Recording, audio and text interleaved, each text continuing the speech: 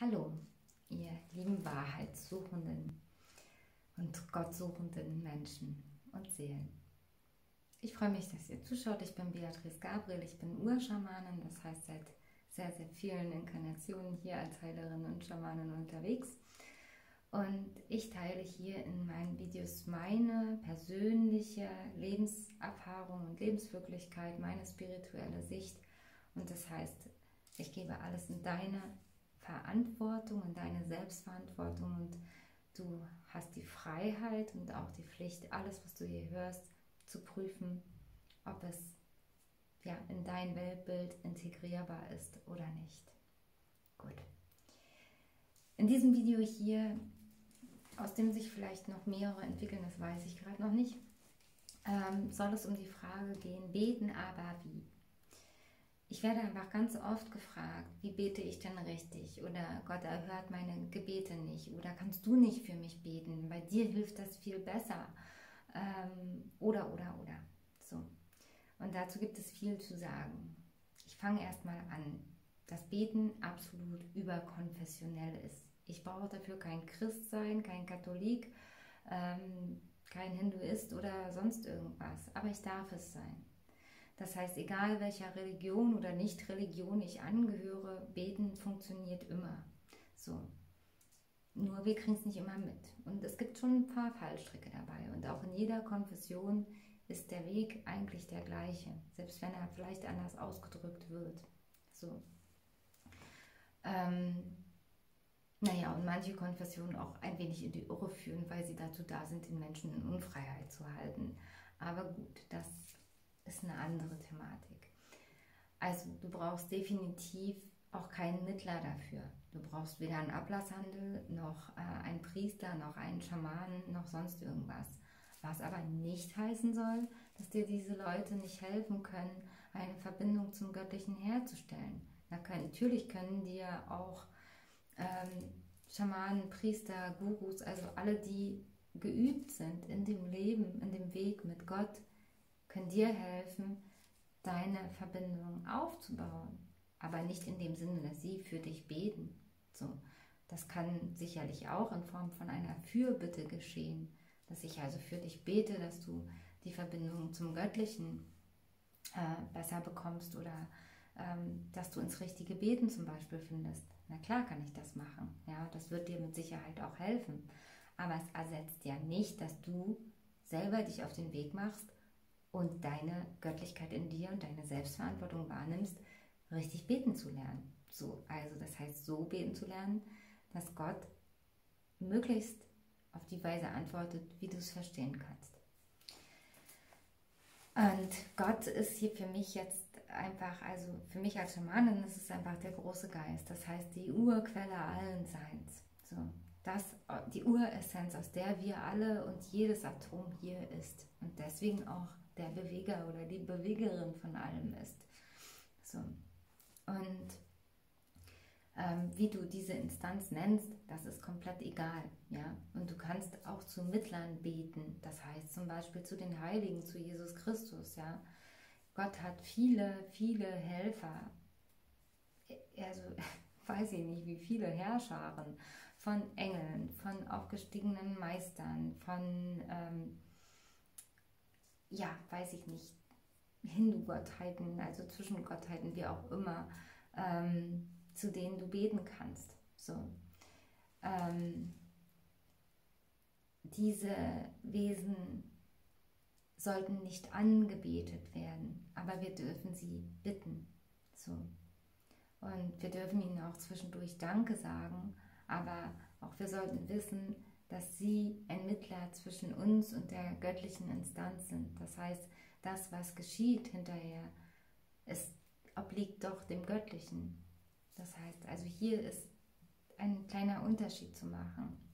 Ihr könnt natürlich Christus um Hilfe bitten, euch ins Christusbewusstsein zu bringen, euch in die Liebe zu bringen und so weiter und so fort. Und Christus wird das tun. Aber warum kann er das? Weil er quasi von der göttlichen Quelle gespeist wird. Das heißt, alles, was ihr erhaltet an Dank, kommt von Gott, ja, vom großen Geist. Ähm, und da sollte dann eben auch der Dank wieder hinfließen, in welcher Form auch immer. Beten sollte ein Rhythmus sein. Das heißt, ich erhalte etwas und ich gebe auch etwas weiter. Ja? Das, was ich erfahren habe, gebe ich weiter. Deswegen zum Beispiel mache ich diese Videos. Ich habe unendlich viel erfahren und ich gebe weiter. Ja? Ähm, so.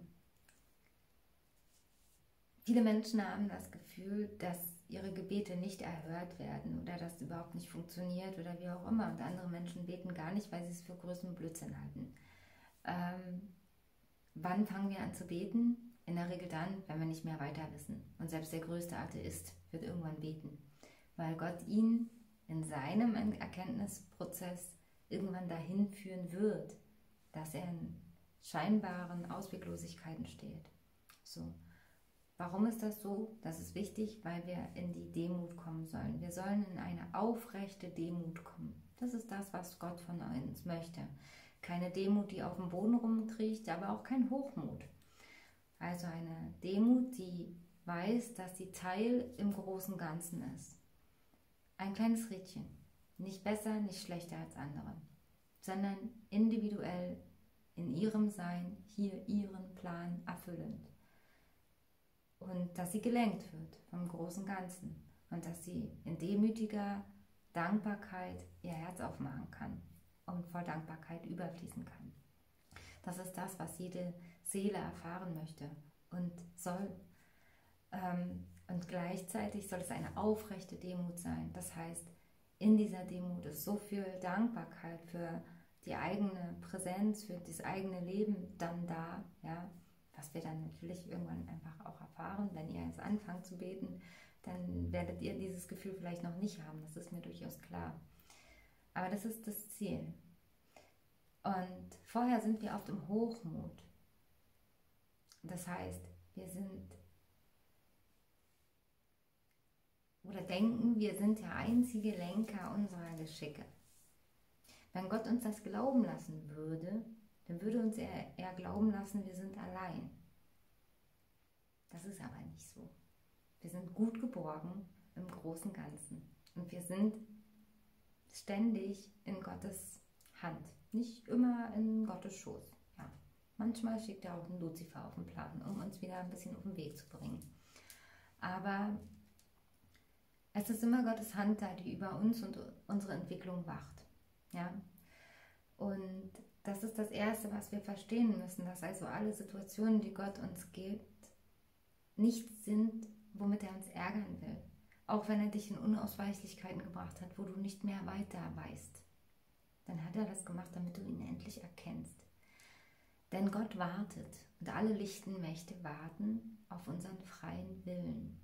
Luzifer braucht das nicht. Das ist quasi der, ähm, ich sage immer, ja, das ist so Gottes Hintertür. Ja?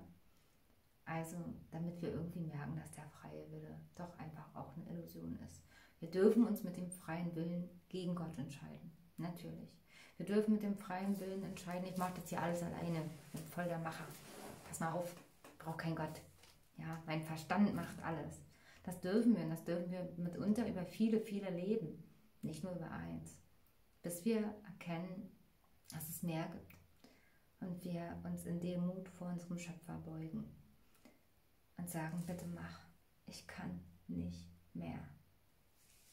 Alles, was ich erschaffen habe, wenn der Mensch das merkt, dass er trotz Reichtum, trotz dies, trotz das leer ist, unglücklich ist, dann fangen auch die Atheisten irgendwann mal an zu beten. Ähm, wenn sie sich dessen gewahr werden. Und das ist ein ganz, ganz magischer Moment. Das heißt, meistens dann, wenn es uns am schlechtesten geht, suchen wir wieder die Verbindung. Und das ist einfach ein kosmisches Gesetz. Die lichten Mächte warten auf den freien Willen. Die warten also darauf, dass du sie einlädst in dein Leben. Und welche lichten Mächte das sind, ist hier egal. Ob es die Heiligen sind, ob es die Engel sind, ob es die Meister- und Priesterscharen sind, also die aufgestiegenen Priester, die atlantischen Priester meine ich hier. Ähm, das ist egal, ob es Gott selbst ist. Alle werden darauf warten, bis du sagst, bitte hilf. Und dann werden sie eingreifen. Darauf warten sie. Und bis dahin darfst du deinem Ego frönen und durch die Schatten der Dualität zwitschen, bis du davon und diesen Dramen genug hast. Wenn du jetzt anfängst zu beten, nehmen wir an, du bist in einem großen Drama. Du denkst, du bist gerade gekündigt, du hast kein Geld und du brauchst jetzt unbedingt den und den Job. Und du fängst jetzt in dieser Verzweiflung angesichts der drohenden Arbeitslosigkeit, Finanzmisere, fängst du an, oh Gott, bitte, bitte hilf mir, diesen oder jenen Job zu bekommen. So, da kann es sein, dass du den nicht bekommen wirst. Und du wirst denken, so ein Mist, jetzt habe ich schon mal gebetet und der Typ antwortet immer noch nicht. Wusste ich doch, den gibt es nicht. Ja? Nein, lieber Mensch, wenn du schon mal in so einem Fall warst oder einem ähnlichen, übertragbaren, hier, es muss kein Job sein an der Stelle. Das heißt, Gott hat auf einen Wunsch nicht reagiert. Du hast ihn oder scheinbar nicht reagiert, sagen wir es mal eher so. Es hat sich also dein Gebet nicht erfüllt, was du doch in Inbrunst und in Angst und in Verzweiflung gesprochen hast. Gott hält dich ja nicht in Co-Abhängigkeiten. Das heißt, wir müssen vor jedem Gebet erstmal prüfen, ist denn unser Wunsch, den wir da gerade so brennend empfinden, etwas, was unserem Ego dient oder dem schattenhaften Teil des Egos, zum Ego wird es noch Videos geben äh, oder könnt ihr dann klicken, ähm, wen das interessiert, ich teile das Ego in zwei Teile, einen Schatten- und einen Lichtpol. Der Schattenteil des Egos hat Angst. So. Der hat jetzt Angst, dass er nicht versorgt ist. Der hat Angst, dass er, wenn er den Job nicht kriegt, ganz furchtbare Sachen passieren. Oder, oder, oder. So. Der hat Angst, total abzurutschen, wenn er den äh, Job nicht bekommt. Das heißt, nur dieser Job kann ihn retten. Das ist natürlich totaler Blödsinn. So. Wenn Gott dir also hier helfen würde, diesen Job dann zu kriegen, würde er dann nicht einfach nur deine Angst bestätigen? Würde er dann nicht einfach nur sagen, ja, liebes Wesen, äh, du musst auf dieser Erde wirklich ganz dolle Angst haben und wenn du nicht vor mir auf den Boden kriechst und mich anflehst, dass du einen Job haben kannst, dann bist du nicht versorgt? Nein, das macht Gott nicht. Gott möchte dich zu einem freien, anmutigen Wesen entwickeln lassen. Das heißt, diesen Job kriegst du dann vielleicht nicht. So. Natürlich ist es auch möglich, dass er antwortet und du den Job kriegst, um dann zu merken, dass der Job total kacke ist und du damit wieder unglücklich bist und so weiter und so fort. Ja, dann bist du vielleicht auf deinem spirituellen Weg sogar schon eher ein bisschen weiter und Gott möchte dir zeigen, dass dieses Gebet das Falsche war. Auch Gott lehrt uns richtig zu beten über solch negative Resultate. Das heißt, ich prüfe, was ist denn hinter meinem Wunsch? Angst oder Entwicklungsmöglichkeit? Ein anderes Beispiel noch, was uns, glaube ich, auch alle oder was wir alle kennen, ein geliebter Mensch ist krank oder liegt im Sterben. Dann beten wir ganz oft, bitte, bitte lass ihn wieder gesund werden, bitte lass ihn überleben. Aber ich weiß doch gar nicht, ob das das Richtige ist. Ich weiß doch gar nicht, ob seine Zeit nicht abgelaufen ist. Und ich weiß doch nicht mal, was sein Tod mit mir machen würde, was ich vielleicht für tiefe Lehren erfahren würde. Wie, vielleicht kann ich nur durch diesen Tod den Menschen wirklich schätzen lernen, wirklich erfahren, was der mir war, was ich vielleicht gar nicht hätte lernen können, wenn er noch leben würde, weil ich bis dahin zu sehr im Hochmut war. Ja. Auch das ist möglich. Und auch dann wird Gott dieses Gebet vielleicht nicht erhören, weil dahinter ein Sinn ist. Und wenn er auf dich hören würde, dann würde er dir ja A, diese Entwicklungsmöglichkeit nehmen und der anderen Seele auch. Und B, würde er noch was viel Schlimmeres tun. Er würde dir ja deine Illusion bestätigen, dass du von diesem Menschen getrennt bist, wenn der stirbt. Und auch das will Gott nicht. So, das heißt, hier sind schon mal mögliche äh, Interpretationen, warum Gott doch antwortet, wenn du meinst, er antwortet nicht. So. Aber wie beten wir denn jetzt so, dass wir es verstehen können? Das heißt, ich prüfe erstmal, ist, mein, ist es ein Ego-Wunsch oder ist es ein Wunsch, der mich äh, haben fühlen lässt? Ja, oder der mich erhebt. So. Beim Jobbeispiel. Ich prüfe, ich habe Angst. Ich habe eigentlich habe ich totale Mangelangst, ja, dass ich, wenn ich den Job nicht kriege, ich oh, ins soziale, finanzielle Abseits rutsche. Dann würde ich zuerst bitten, Gott hilf mir, meine Finanzangst zu heilen, meine Existenzangst zu heilen. Dann kann es erst recht sein, dass ich den Job nicht bekomme. Ja? Weil Gott mir zeigen möchte, dass ich versorgt bin und auch anders versorgt bin, als irgendeinem Job hinterher zu rennen und mich auf etwas zu fixieren. So, Gott möchte uns frei machen und nicht fixiert auf irgendwelche Wahnideen. Und ähm, das heißt, ich fange jetzt an zu prüfen, wenn ich bete, ist denn mein Wunsch irgendwie von Angst motiviert? Welche Fähigkeiten bräuchte ich denn hier keine Angst mehr zu haben? Und dann bete ich nach dem Download-Prinzip. Das heißt zum Beispiel bei jeder schwierigen Situation, Beispiel Job oder Tod oder wie auch immer, ja das erste Gebet. Bitte hilf mir, den Sinn dieser Situation in meinem Leben zu verstehen. Weil wenn ihr den Sinn verstehen würdet und ihr würdet darauf gucken wie Gott, dann würdet ihr denken, ach so, na dann, easy, kein Problem. Ja? Wenn ihr Gott verstehen würdet, so wie ich ihn verstehe. Und was nicht heißen soll, dass ich nie Struggle in meinem Leben habe oder es nie Herausforderungen gibt, wo ich Gott auch manchmal nicht gleich sofort verstehe. Aber ich habe zumindest gelernt, dass wenn ich mit irgendwas struggle, habe ich meistens nur irgendwas von da oben nicht verstehe. Und ich dann dieses Gebet spreche, bitte hilf mir den Sinn zu verstehen und sich der Struggle dann ziemlich schnell auflöst. Wenn ihr darauf gucken würdet und ihr würdet zum Beispiel bei dem Jobbeispiel Gott hören, der sagt, Menschenskinder, mein lieber ja, Menschensohn, Menschentochter, dieser Job, der würde dich nur ins Unglück treiben. Du hast eine Zeit verdient, dich auszuruhen. Und ich werde dafür sorgen, dass du ähm, gut versorgt bist in der Zeit. Ich werde dir gute Bücher an die Hand geben. Du wirst eine Zeit der Weiterentwicklung erleben. Sei unbesorgt, zur rechten Zeit wird der rechte Job kommen. Wenn ihr das als tiefe Gewissheit fühlen würdet, na, dann wäre das gar kein Problem mehr mit dem Job. Und das ist eigentlich schon das Geheimnis, also zu verstehen, welchen Sinn das Ganze gerade macht. Bei dem Beispiel mit dem lieben Menschen, der geht, den ihr verabschieden müsst. Wenn ihr Gott hören würdet, der sagt, ich nehme diesen Menschen jetzt in Obhut, denn er hat hier genug erledigt. Er hat hier genug und lange gekämpft. Der darf sich jetzt bei mir ganz tief ausruhen. Und er wird dich besuchen kommen in deinen Träumen. Und ihr werdet ewig verbunden sein. In deinem Herzen wird er immer wohnen. Und noch viel mehr. Mit dieser ja, scheinbaren, mit diesem scheinbaren Abschied wirst du ihn viel tiefer in deinem Herzen fühlen. Du wirst viel dankbarer sein für die Begegnung mit diesem Mensch. Du wirst viel tiefere Liebe für ihn fühlen. Du wirst verstehen, was Seele und Leben wirklich ist. Und du wirst verstehen, dass Leben viel mehr ist als diese physische Begegnung.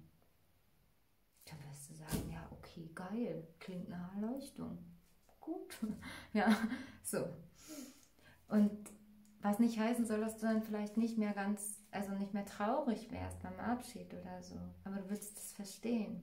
Und du würdest verstehen, dass auch diese Traurigkeit ja nur da ist, weil du diesen Menschen geliebt hast und dass in der Liebe so viel Traurigkeit, äh, in der Traurigkeit so viel Liebe ist, so rum.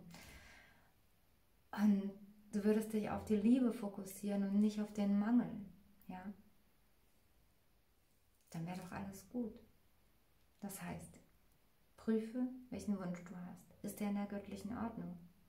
Wenn du es nicht weißt, hänge dran, so Gott will. Immer gut. Ja, beim Jobbeispiel. Es kann ja auch sein, dass es ein Job ist, den du tatsächlich kriegen sollst. Es kann ja sein, dass er nicht mangelmotiviert ist, sondern du spürst, ich gehe hier einen Weiterentwicklungsweg, äh, mein alter Job, den habe ich jetzt gekündigt, ähm, da ist irgendwo ein Job, den würde ich gerne machen, weil ich denke, dass ich da endlich so wirken kann, wie ich wirken soll. Dass ich da ganz viel erfahren kann, dass ich da Entwicklungsmöglichkeiten habe, die vielleicht auch manchmal schwierig sein werden, also herausfordernd, aber ich bin bereit, es zu machen. Und so, dann darfst du natürlich beten.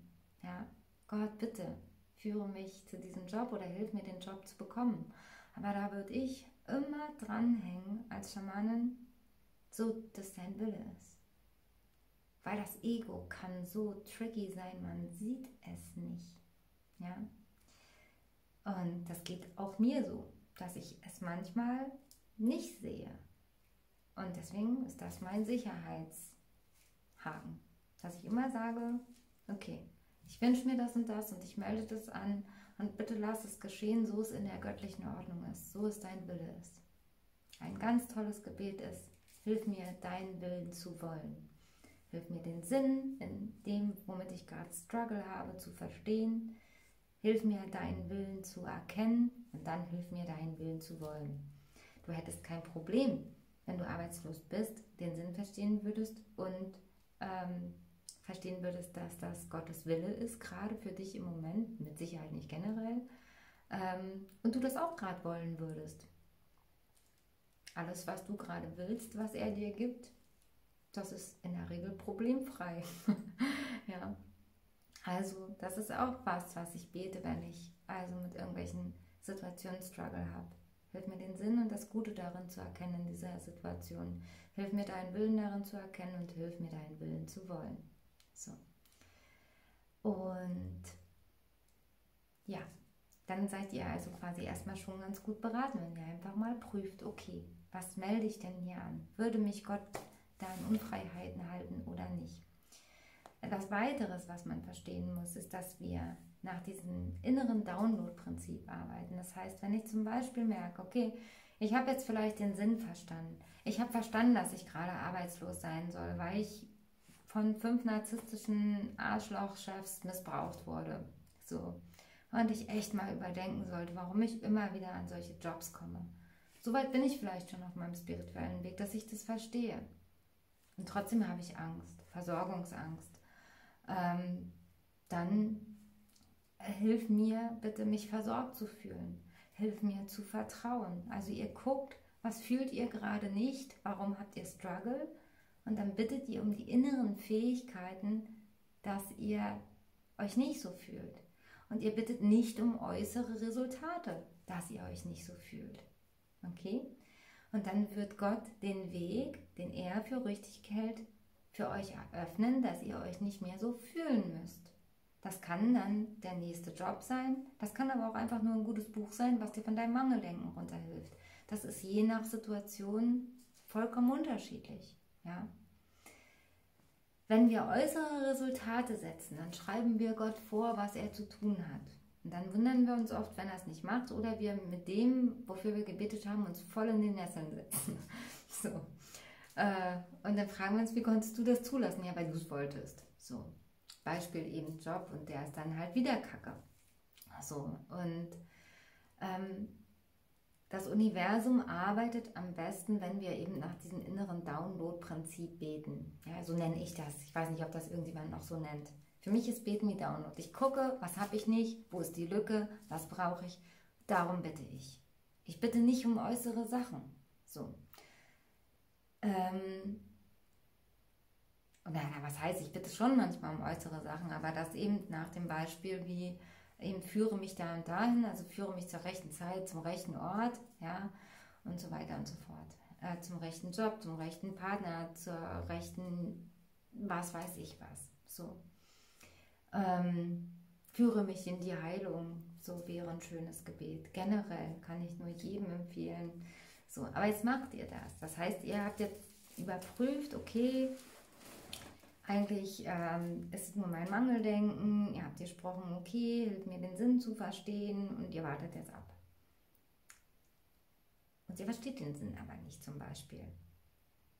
Naja, vielleicht schlägt Gott euch gerade ganz viele Dinge vor, die eure Sichtweise ändern sollen. In Form von Menschen, die euch begegnen, die euch andere Sachen sagen, kleine Zitate, die ihr lest, Sachen, die ihr aufschnappt und so weiter und so fort. Aber ihr wollt euer Denken nicht ändern. So, dann ist es so, dass Gott durchaus antwortet und ihr ihn nicht hört. Das heißt, was braucht es also noch dazu zu diesem Gebet? Hilf mir den Sinn zu erkennen. Auch das muss man sich fragen. Habe ich mein Gebet also umfassend genug gesprochen? Wenn ich bitte, hilf mir den Sinn zu erkennen, ist es sehr hilfreich dazu noch zu beten und öffne mir die Augen, die Ohren mein Geist und mein Herz, deine Zeichen zu lesen und zu verstehen. So, jetzt habt ihr das gemacht und ihr versteht nach ein paar Tagen oder Wochen dann auch den Sinn dieser Situation in eurem Leben. Und ihr versteht jetzt also, was Gott von euch möchte. Und dann kriegt ihr vielleicht den nächsten Struggle, weil euch noch etwas fehlt. Nämlich Mut, den Weg, den er von euch möchte, zu gehen. Vielleicht fehlt euch aber auch Glauben, also daran zu glauben, dass das, was ihr wahrgenommen habt, wirklich göttliche Führung ist. Dann bitte hilf mir zu glauben. Also hilf mir zu erkennen, hilf mir zu glauben und dann gib mir Mut, diesen Weg zu gehen. That's it. Das sind eigentlich die wichtigsten ähm, Tools, sage ich mal, zum Beten. Wenn man das integriert und verstanden hat, dann schafft man es sehr gut, mit der göttlichen Quelle in Verbindung zu stehen und auch ja, sein Leben einfach in den göttlichen Ordnungen auszurichten und damit zu erschaffen. Ich werde noch ein Video machen zu den Antwortmöglichkeiten also wie kann Gott antworten, was oft nicht verstanden wird als Gottes Antwort, sondern eher als Unfairness. Ähm, und kann euch nur empfehlen, das also hier im Nachtrag noch dazu anzuschauen. Und dann wünsche ich euch allen einen, einen Weg mit der Quelle, einen Weg gesegnet von Gott. Und dass ihr euch alle einfach nicht mehr allein und unverstanden von Gott fühlt, sondern ihn erkennen könnt für mich jetzt hier ihn ja, überpersonell bitte zu sehen, aber dass ihr fühlen könnt, in welcher Liebe und Geborgenheit ihr hier auf diesem Planeten wandelt. Selbst wenn ihr es oft nicht glaubt, aber gerade dann, wenn ihr es nicht glaubt, habt ihr eigentlich die Verbindung verloren. Und dann bitte darum, wieder Verbindung zu bekommen, wieder glauben zu können, zu erkennen und erfahren zu können. Und dann wünsche ich euch ein so gesegnetes Leben, voller tiefer Erkenntnis, Glück, Frieden, Glückseligkeit. Also, das ist machbar, ist schaffbar, wenn man diese kleinen Sachen versteht und die Demut hat, sie anzuwenden. Demut ist das Allerwichtigste auf Gottes Weg. Aber keine kriechende Demut. Wir dürfen stolz sein auf uns und auf unser Sein und auf unser Leben. Wir dürfen anmutig sein. Aber wir sollten demütig vor dem großen Geist sein und dem, was er für uns geplant hat, weil das kann unser kleines Brain mit seinen fucking 5% ganz oft nicht verstehen. Ja, und davor sollten wir uns ganz oft verneigen. In tiefer Demut und Dankbarkeit und vielleicht ist auch die eine oder andere Entschuldigung nach oben mal dran und drin, dass wir es nicht verstanden haben, was er uns mit unserem Leiden oft sagen möchte. Weil wenn wir leiden, dann trennen wir uns eigentlich von Gott. Das heißt, wir gehen irgendwo einen Weg mit Luzifer. Und Luzifer ist nichts anderes als der Lichtbringer. Den schickt Gott dann, wenn wir nicht im freien Willen beten. Wenn wir also nicht die lichten Mächte anrufen zur Erkenntnis, dann schickt er die dunklen Mächte zur Erkenntnis. Aber nicht, weil er uns hasst, sondern weil er uns liebt und weil er uns nicht in unseren Illusionen gefangen halten möchte. Auch an Luzifer ist ganz oft ein Dank drin. So. Und wer mich jetzt als Schwarzmagierin oder Teufelsanhängerin verurteilen will, bitte. Ich habe gelernt, dass auch dieser Teil göttlich ist und das ist meine Wahrnehmung, mit der ich sehr gut und sehr im Frieden lebe, mit den Schatten, die mir in meinem Leben begegnen. Und diesen Frieden, den wünsche ich einfach jedem. Also in diesem Sinne, überdenkt das alles, prüft das für euch und schaut, ob ihr daraus eine neue Weltsicht, eine neue Sicht auf Gott und vielleicht auch eine neue Selbstsicht und ein bisher Beten erlangen könnt. Das wünsche ich euch. Alles Gute, viel Segen auf euren, euren ganz individuellen Wegen mit Gott. Tschüss.